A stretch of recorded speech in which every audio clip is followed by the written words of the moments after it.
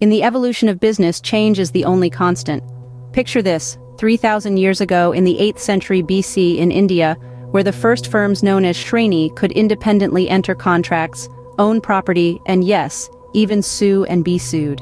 Fast forward to 960 AD during China's Song dynasty, the birth of gunpowder, printing presses, paper money, and the first partnerships and joint stock companies.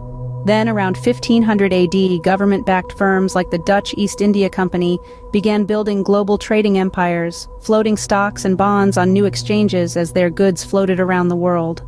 The Industrial Revolution in 1790 saw companies like Wedgwood standardizing processes once done by hand, giving birth to a new breed of consumers.